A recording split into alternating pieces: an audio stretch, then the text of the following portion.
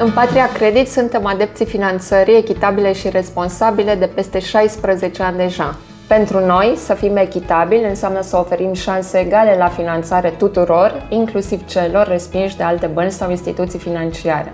Ne uităm la oameni și la potențialul real al afacerii, al fermei, nu doar la documentele sau hârtiile pe care aceștia ni le pun la dispoziție. Suntem în același timp responsabili când oferim finanțare. Dimensionăm împrumutul funcție de capacitatea de rambursare.